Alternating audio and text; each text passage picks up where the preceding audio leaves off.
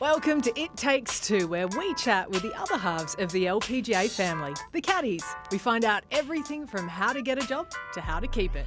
I became a caddy because I had two cousins on tour, Karen and Mardi Lunn.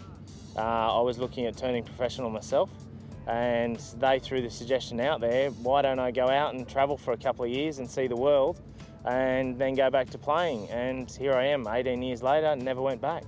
Inbee and I met um, back in 2007 through an old boss by the name of Ilmi Chung. Uh, I'd been working for her for some time and she, her and I parted ways and she actually put my name forward for Inbee in her rookie year.